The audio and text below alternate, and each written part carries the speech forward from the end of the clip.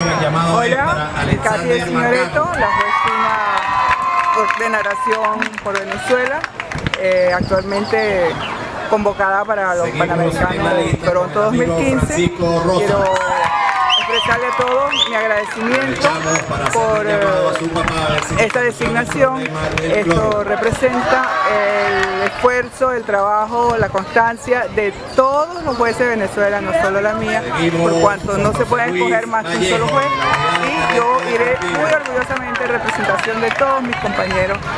Venezuela adelante, Venezuela presente en Toronto 2015.